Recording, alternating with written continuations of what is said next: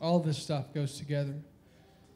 I love what God's doing. I love how He's uniting His body together in one accord, even though we're not together. We don't plan stuff, we don't pre talk about stuff. We just come as we are with what the Lord put on our heart. I want to start a series this, this month, or I don't know. I don't really know how to do a series, but I want to try. I'm just as new as this that you are, some of you. Just as new at um, living this life as some of you.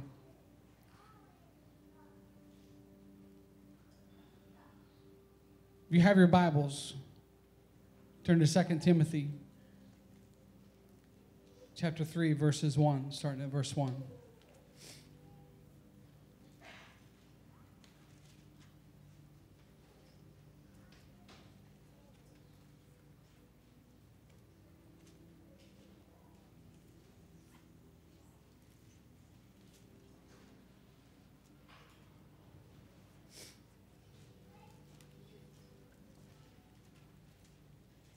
What I want to try to break out and bring out in this season of power, how we can be endued with power from on high, how we don't have to live our lives like, like some of us have lived them or are still living them. There's no need for that. God wants to give us so much freedom. But there is a fakeness that we've seen in the world today. We've seen it in the news. We've seen it just in when we walk down the street. We've seen it with the words that people say out of their mouth when they say that I'm this or I'm that and there's no truth in it. We've seen that. And in 2 Timothy 3 1, says, But realize this, that in the last days, difficult times will come. So they will come, and they're here. We're going through things right now. For men will be lovers of self, lovers of money, boastful, arrogant, revilers, disobedient to parents ungrateful, unholy, unloving. They'll be gossipers, without self control, brutal, haters of good, treacherous, reckless, conceited, lovers of pleasure, pleasure rather than lovers of God. And verse 5 is what I want to point out today. They're holding a form of godliness, although they have denied the power. And in God's word, it says, in the latter part of that verse 5, it says, avoid such men as these. Now, do I mean, do I think that means avoid them altogether? I think that means avoid a lifestyle with them, a hanging out party with them, hanging around them. We have to reach these people. So it's not that type of an avoid it's an avoid to the point that it's going to influence you in the wrong way. Avoid to that point. But we have to reach this lost and dying world. We have to reach the people. Verses 1 and 4, 1 through 4 talks about sinful behaviors and attitudes contrary to God's will. But then in verse 5,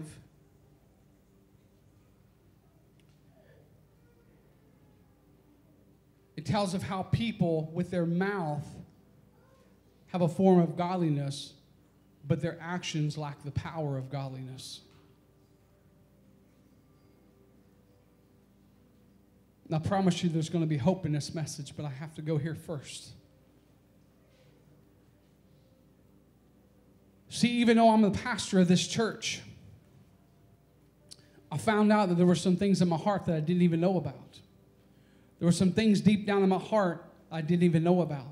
Last week I come to the church and I don't let everybody onto this all the time, but but I, I'm just I'm open and honest with you guys to tell you who I am. You guys know me. This is who I am. I'm not going to skirt anything or hide anything or shade anything. I'm going to be truthful always. And so last week I come in, I was just heavy. You know, I've been my wife and I have been pouring into this thing for two years.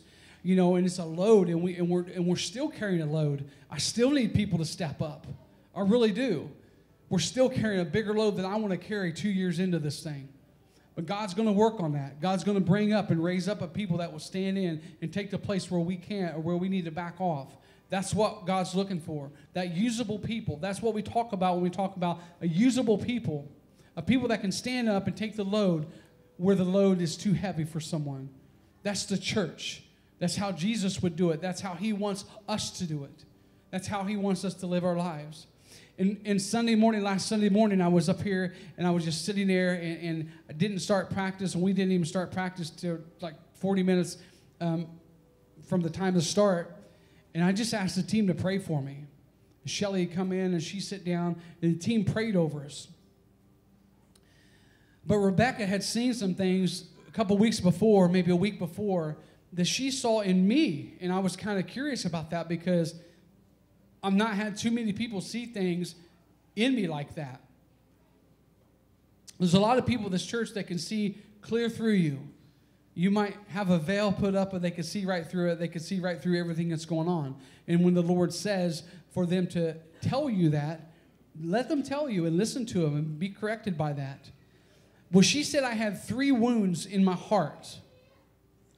And she said what the enemy was doing, these wounds were so small that I couldn't detect the wounds. They were so long ago and so small. And she said that the enemy had his fingers inside my heart and doing this into my wounds. And when I'm going, ouch, man, this is heavy. Is a heavy load. What is going on, Father? And what triggered this is I had a dream a week earlier. You ever had one of those dreams where it's like it's so impactful, you wake up and you're mad or you're upset or you're something, you just in a mood because of a dream. And I woke up and I was mad because of the dream I had. I said, How can I be living this deep in a relationship with you, Jesus Christ, and have a dream like this? It shook me and it rocked me. And it brought to my mind those three chords, those three tears in my heart. And so they prayed for me, and we went out for a debriefing after church. Sunday nights we go and we debrief and just discuss what we can do better, what we can do to, to make the church run smoother, and just all these different. Um, you know, there's a lot more to this than you guys realize. There's so much more to, to having a church than just us being here. I mean, there's so there's licensing. I mean, I, I have like four different licenses I have to get with the state just to be here. Just to play music on stage, we have to have a license. We have to pay money to play music on stage. That's just where we're at. There's so much involved in this. And I was out there, and, and, and um, some of the leadership had left. And I'm sitting there, and I asked Tammy, she's, she's, she's uh, one of my co pastors. And I, and I asked her, I said, uh, I said, she also does Sozo ministry, which is a deep inner healing ministry, just is amazing. And I said, Tammy, I need you to pray for me. I said, I got something going on in my heart. So we got praying, and it took me clear back to where I was four years old and, and up to seven. Of some things that happened to me, some things that I did as a young boy at four, sin that I had committed at four years old that left a tear in my heart. And the enemy got that. Because he knows I've been working on my heart. He knows every time I think a bad thought, I'm saying, God, where did that come from? I don't want that there. Or I look at someone wrong. I look at a woman wrong, or look at a guy wrong, or have a wrong attitude. I say, where'd that come from? I don't want that. I don't want to have that in my heart. I want you to take that from me. And I will stop right there in the midst of it. And I'll go, where did that come from? Let's heal this right now. I'll stop. I don't care if I'm in store or where I'm at. I'll say, God, let's just deal with this right now. And that's what I do. But these three things were just grabbed a hold of me, and I didn't know it. But I got freedom from, man, Tammy, I woke up the next morning. I was like, hallelujah. I mean, I felt like I'd been carrying a sack of potatoes with like 25 bricks in it and the potatoes. And I felt like I dropped that. And it's like, wow, the load that was lifted from me. And I know a lot of you guys will carry that kind of a burden in your life. You carry that kind of a load because you do not have the freedom that I am obtaining. It's easy, it's, it can come to you as easy as it did to me. I've been working on this for the last five years, literally digging. I'm going step by step, year by year, month by month through my life to go, where can I fix this? Where did I have unforgiveness here? What did I do here? And I go back and I'll say, I did this. Will you forgive me? Even if they're dead, will you forgive me? God, will you forgive me for what I did or what they did? See, people can do things to us, and we can do things to people. We can change what we do to them, but with a relationship with God. Things that happen to us cannot be changed, but we can forgive. And in forgiving, there's such freedom in forgiveness. You would not believe how much freedom is in forgiveness. It is overwhelming to forgive someone and, and, and you that freedom that you experience from forgiveness. I don't care what has been done to you. I really I, I mean I care what's been done to you, but I don't care to the point that you cannot forgive. We can sit, we can compare stories, and, I, and I'm going to tell you, I'm going to be down there with the worst of them with you. But I've forgiven. Things that have happened to me that I've forgiven. Things that I've done to other people, I've forgiven. Myself, even. We have to forgive ourselves as much as we forgive others. There's freedom in that as well.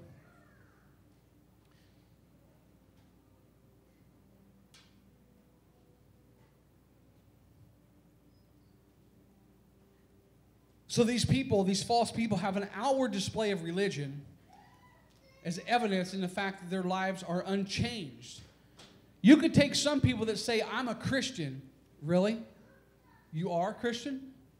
If I was to put you in front of a court hearing and you had a whole 12 jurors over here and, and, and you said, I'm a Christian, and you try to present the evidence of being a Christian, what evidence are you going to pull out and give to them? Because for me to understand the Word of God, it says that we have to have power along with the salvation. Power comes with that. When we have a relationship with God, it says that we can raise the, raise the dead, that we can heal the sick, that we can cast out demons. That's the power I'm talking about that we need to obtain. That some people that say, I'm here, really, no, you're not here. You need to understand you're not there. You might have said something with your mouth, but not believed in your heart. See, we can say with our mouth, Jesus, Jesus, Jesus. You know how many Jesuses are in another country, Mexico? Anybody met somebody named Jesus? I've met all kind of Jesuses. We can meet all kind of Jesuses, but they're not going to have the same effect. So, what Jesus are you calling on? What Jesus are you relying on? Why did you say, Jesus, come into my heart? Why did you say that to begin with? And did you say it because you believed it from your heart, or did you say it because you wanted something from it? Do something to get something. And that's where we're at today. We've got so many people out in this world that's a do something to get something. What I want you guys to recognize is the difference between a true Christian and a false Christian, a fake true news and fake news.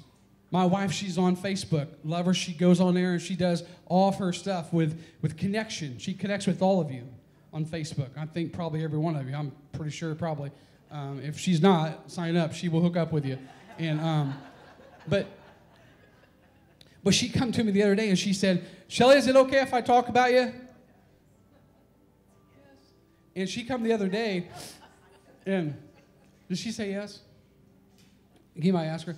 No, no, really. She come the other day and she goes, "Well, Facebook said this." I said, "So." Well, Facebook said this about this uh, this um, this vaccine. I said, "So." Mark Zuckerberg said something about what? Um, doesn't make it true. There is truth on Facebook, but there's a lot of fake news on Facebook as well. So I said, You cannot believe it just because it's written down. I mean, I can barely believe a video anymore that I'm seeing in front of me. There's so much delusion in the videos, I can barely believe it's a video is truth. So if I'm not seeing it for myself, you know, and then we've got people on there that they come on there and they say that, that this, this, and this, and this, and this about this, um, this vaccine that's coming up. I don't know their credibility. I don't know if they know anything about it, so I'm not going to believe them. I mean, I might take it and put it in the back of my mind, you know, this could be true, this could be possible. I'm going on what I know is truth. And I know that the leader of this free world has changed things. And just leave it there. I know that things have changed for the good, for the better. Fake Christians are destructive. Philippians 3:19 says this, whose end is destruction, whose God is their appetite, and whose glory is their shame, who set their mind on earthly things. We need to learn how to recognize real from fake. We need to learn how to recognize the true from the false. False, a falseness would be, you guys remember the story of Ananias and Sapphira? How they had this piece of land they sold, and they said, We're gonna get, we we made this much off of it. No, really, you didn't make that. You made more than that. But they pocketed some money. So they were trying to say the truth and trying to tell these people, you know, and they called them out straight straight away. No, that's not true. Both of them dropped. Dead. Does God do that today? I don't know, but I mean, I, I know it happened to them. And I know they lied and they deceived and they tried to be something that they wasn't. Fake Christians are destructive. You know, people that are that say I'm a Christian. The word Christian. I had I had a friend ask me the other day about Christian, and he was a little scared to share with me what he wanted to ask me. But he just he said, "What are you?" I said, "I'm a believer in Jesus Christ. I'm a follower of Jesus. I'm a lover of the Lord. God is my God. I'm an untainted version of what Christian is." I'm an untainted version of what believer is. And that's what I want you guys to be an untainted version of what love is. Because people, when they say that, the deity of Jesus Christ is diluted so much that it's almost worthless in, that sense, the way they say it almost dilutes the power and the name behind Jesus Christ to nothing. We can't do that. We can't live like that anymore. We can't live like that any longer. We can't walk in this type of a lifestyle any longer. I said a while back, I said, How many of you ever step in dog dung? We'll say dung. How many of you ever stepped in dog dung and left it on your shoe? Did you leave it on there, Bob? No, you got the stick and you scraped it all off your foot. Why? Because you didn't want to smell like dung the whole day. But some people sit in their stuff and they smell and they smell like that dung and they smell like the sin of the world, yet they don't even want to walk away from it. They don't want to walk out of it. They don't even know. Some of them don't even know and realize. And some of them comes up and says, Man, you stink. No, I don't. Yeah, you really do. No, I don't. Yeah, you do. I'm a Christian. No, you're not. And I want to say this lightly. I want to let you know people can be a Christian and have hardships. People can be a Christian and go through things and have struggles and even fall short of the glory of God. I'm not saying that. What I am saying is that I do not believe that you can live a full lifestyle for God and for the enemy. You cannot live a lifestyle of sin, living knowingly, willingly living a lifestyle of sin, and say, I'm a Christian. You can't do it. It just don't mix. It ain't going to happen. It just don't work. You cannot do that. For it's by grace you have been saved through faith, and not of yourselves is the gift of God. Not of your works that anyone should boast. That's Ephesians 2 8 and 9. So, this here, you see what, what is this? A diamond. That you guys all recognize that as a diamond. Isn't it beautiful? It's worthless. I mean, it's valuable to me. I don't know how much Sheila paid for it, but um, how much you pay for this, Sheila? It was given to you. A free gift. Sheila gave me this like a year, year ago, I think. It was, it was crazy. I have, I've had it in my office. I've had it in my office. And, and I was looking at it this morning. I said, man, I could use that.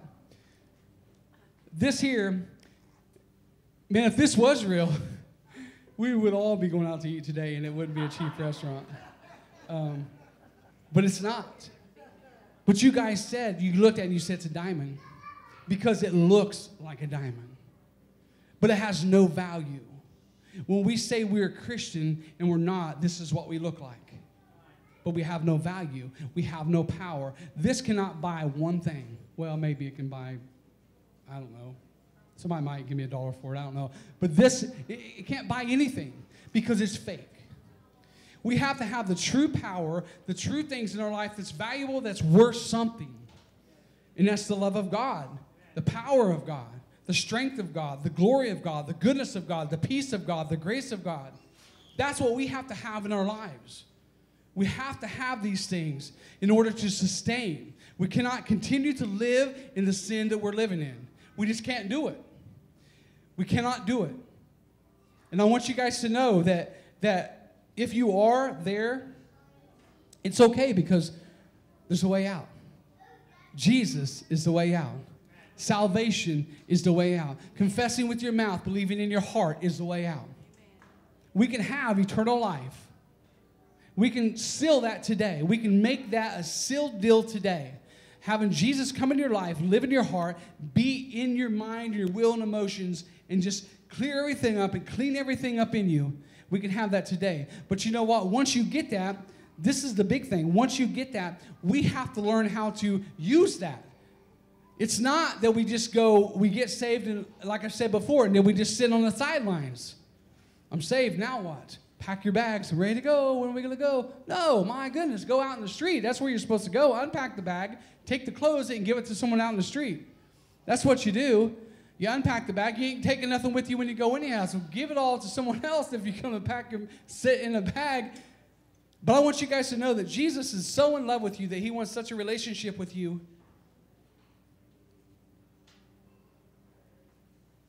that He wants to give you power from on high.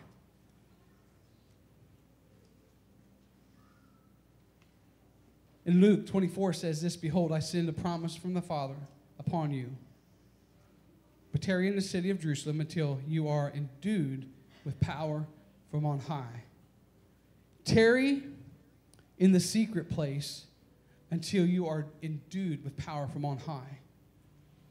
I don't care if you have to come up the altar and you have to stay here. Do you have to say, Jason, I need you to lock up like about four o'clock because I got a bunch of stuff to go through. I'll lock up at four. I'll stay here with you till four or five or whatever it's going to take because we need to stay in that place until we are endued with power from on high. Now, in my seeking God, I'm not seeking power, I'm seeking relationship. And through that relationship, I will have power from on high. I will be able to change things when I walk into the room. Matter of fact, I'll tell you, I do change things when I walk into a room. Not being boastful in any way, but when I walk into a room, environments change because I'm there and I have Jesus Christ in me and He is there with me. Things have to change. I've literally walked down the aisle of the grocery store and I've seen people turn around to look at me because they felt something from me. And it wasn't bad, it was good. They felt God in me. And I know they wanted to reach out and grab it. And there's times I have really turned around and prayed with people. There's times I've seen them and I've walked and I've seen them because, you know, I don't always pray with everyone that I see that's got a limp, but there's some I do. And I walk and I see they got a limp or something going on, and I'll just stop and I'll say, hey, is there anything I can pray with you about? And they'll be working at the store or whatever, and they say, well, matter of fact, I know I'm, I know I'm going the wrong way down the aisle here, but can I pray with you? and uh, I'll pray with them. You know how they got the arrows in the aisle, you're going the wrong way. And, um, and I literally will pray with them, and, and, and, God will heal them right there. Literally, God has healed people right there in the grocery store that I prayed for. Everywhere I go, I'll walk in a gas station. Someone will be down, and I'll pray for them. I'll walk, I've walked into movie theaters before. I was in Florida up at the top row in a movie theater and got to pray with a guy. I'm getting ready to watch a movie. Hey, man, what you got going on? How's life? He goes, oh, not too good. Let me pray. He come to church the next day in Florida. The church we go to there. I mean, it's just amazing what God can do if we will step out in the fullness that God has for us, in the power that God has for us.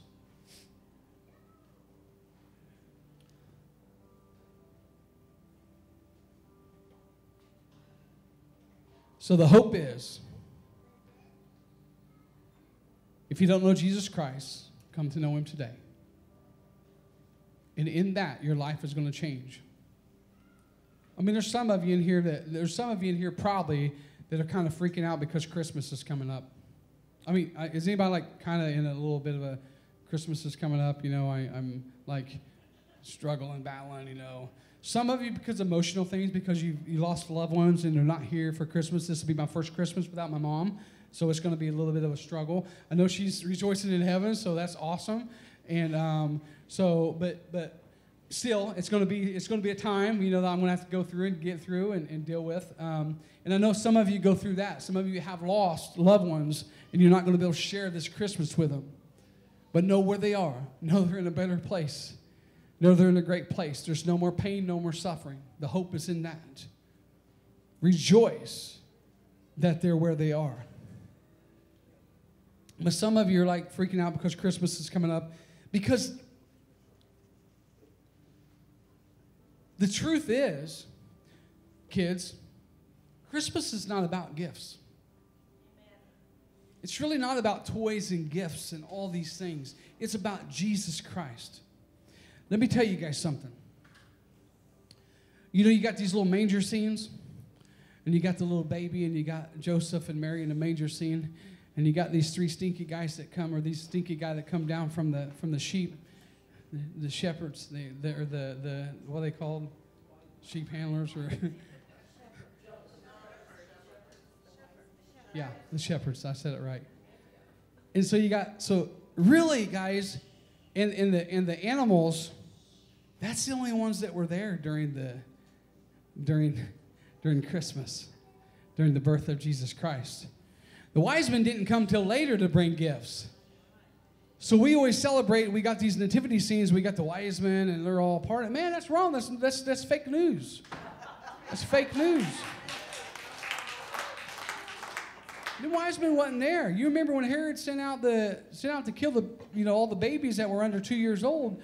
You know they were out they were out going around and, and they finally found the star and followed him down to Jesus where he was. You know, we tie all that together? No, I mean they just they just come and, and, and to worship him. It took him that long to find him. So guys, listen, girls, it's not about gifts. Don't put the pressure on your parents. You know what? This is what you can do. Throughout the year, kids, save up throughout the year. All the year, if you get money, you know, for like doing chores or playing video games or whatever you get money for, um, if you get that money, save that money and go out at Christmas and buy somebody else something. Say, Mom, Dad, this year I don't want anything for Christmas. I just want to save the money I have and go give it to somebody else. Look at that face. Watch how it will bless. They're doing this. Watch how it will bless you. I will tell you a story and then we'll close. My, my, my three sons, we did this one year. I said, What do you guys want this year? They said, We don't want anything. We want to we want to give to somebody else. Well, who you want to give to? Dan down the road, guy we call Dan the man. He drove in his loud pickup truck by. He lived in a trailer, weeds all around it, and and he had, if Dan, if you're watching, hey, and because uh, he probably is, and so he had weeds all around it. He had to, um, underneath the trailer all these batteries and had solar power and all this stuff. And I remember um, we waited up till midnight with this gift. He'd always wanted a little puppy. It was one of them um, Jack Russell puppies. And we found this Jack Russell puppy. It was the last one of the litter. It was the one that was all, you know, the last one's always the one's all beaten up, chewed up. It's got all the scars all over it, you know. And uh, so a little bitty runt of a thing. And I mean, it literally fit in my pocket, you know, and because I, I, went to the store with it in my pocket. And, um, and so they're, they're there, and we're, we're up till like late at night, and they're like, Dad, where's he at? Where's he at? And they're all excited because they want to be able to give this gift. They were so excited about being able to give this gift. And, and he said, Where's he at? Where's he at? And finally, we hear that truck down the road. And I was like, now can we go now? And it was late. And I was like, all right, we'll go. So we all got in our vehicle and we went down. He got in his house and we said, hey, he got in. He's like, yeah, what are you guys doing? And he said, hey, we got you something. And he, and he, he loved horses. And we said, here's the papers. He goes, is it a horse? He thought he was getting a papered horse. So we had like seven horses. And I said, no, it's not a horse. And um, we handed him this little puppy. And man, this guy. You remember this, Dan? His eyes just dripped with tears. I went back the next morning.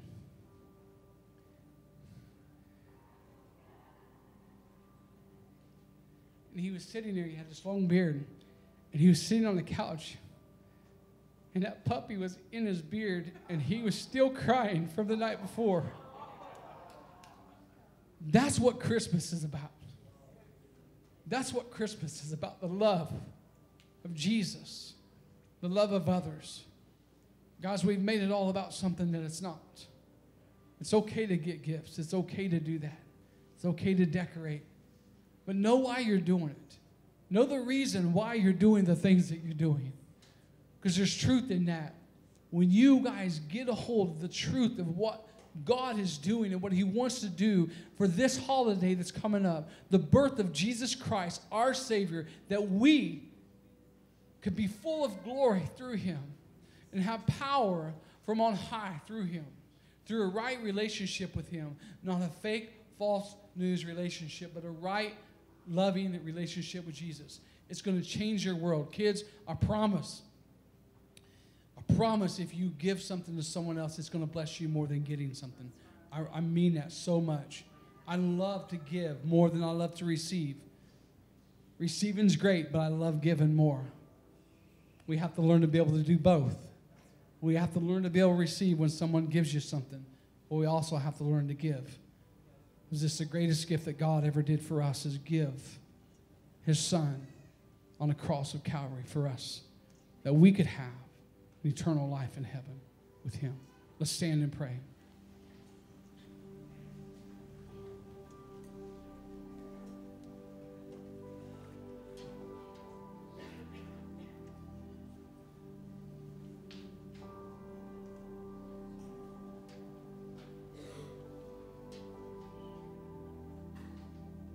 So, if you don't know, we've started this new thing of kneeling at the altar instead of us standing up here. Now, we'll still come and pray with you. But feel like we've lost the reverence of kneeling at the altar. So I just wanted to take it back to that. If you can't get back up like me, we'll help you get back up. If your knee locks when you get down, that's okay. We'll help you get back up. I want you to be honest with yourself. You might be coming up here praying for anything, not for salvation. You might just be praying for something. So everyone looking around is not going to be looking at you thinking, man, they're a fake, they're a fake Christian. No, we're not looking at that. If you need any prayer for anything at all, I want you to come up this morning. If you feel like you've been walking a false and fakeness, I want you to come up this morning. If you feel like you need more freedom in your life, I want you to come up this morning. If you feel like you need more power in your life, I want you to come up this morning.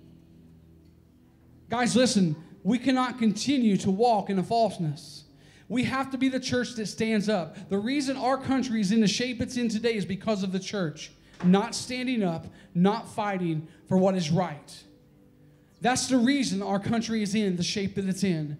We had power from on high, and we let that power down because we were scared of what people were going to say, what people were going to do, what people were going to think about us. There's no truth in that. You are children of the Most High God, and He loves you supremely.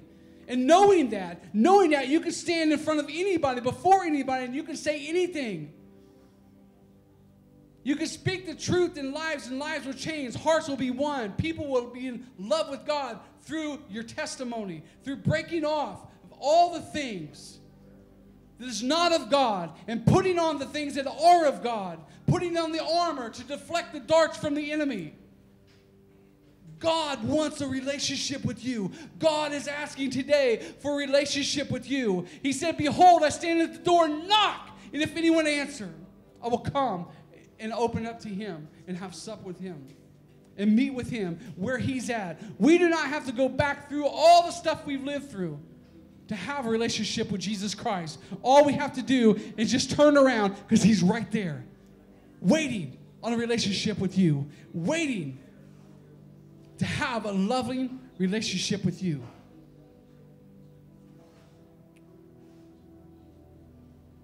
These guys are amazing. This family up here. Lord bless them.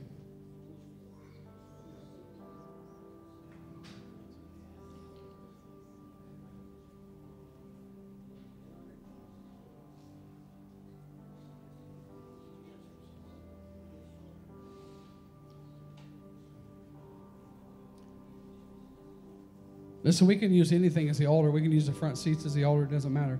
What matters is, is I, I, I just feel like that, that if we get on our knees and humble ourselves before the Lord, He's going to honor that. He's going to honor that, guys. If you're having struggles with Christmas, financial struggles, all these things, put all that aside right now. Let's get right. Let's get right so we don't get left. Get right so we don't get left. Get in right relationship with Jesus.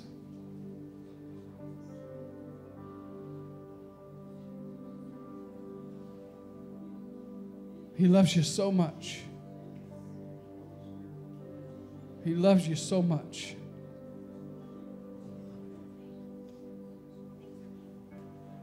So much. Thank you, Jesus. He's an amazing God, guys. He's an amazing God. Anybody else want to pray? Man, we've got like, man, I quit early. I need to go back again. I got too much time left on the clock. No, I'm just kidding. You know what's right here? The Holy Spirit does what He wants to do. Come on. Pour it out. Is there anybody else? The altars are open up again. Anybody else? We're going to have bigger altars one of these days. It's going to expand 80 feet across instead of 45. Anybody else want to pray this morning?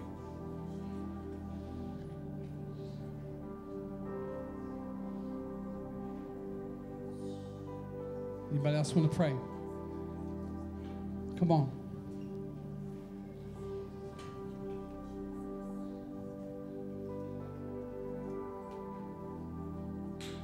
It's okay. It's okay that we've been in a mess, man. I've been in a mess so many times in my life. But I'm getting in less and less of messes as I go. The deeper I get in relationship with God, the less of a mess that I'm in. I've learned how to clean up messes when I make them too. It's powerful. Learn how to clean up your own mess when you make one. God is amazing. Thank you guys so much for coming today, worshiping in the house of the Lord, and giving Him first on Sundays. It's just about relationship, guys. Bless you, Jeremy.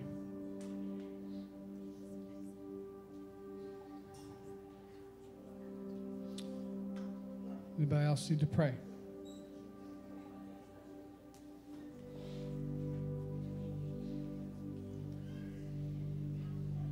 Going to sit here for a little bit longer. If you take an ambient music up just a little bit, I'm going to be done speaking. You guys can just come up and pray as you will.